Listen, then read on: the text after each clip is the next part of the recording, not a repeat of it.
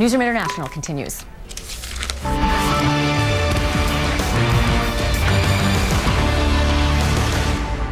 Welcome to Newsroom International. I'm Suzanne Malveaux. We are taking you around the world in 60 minutes. Here's what's going on right now.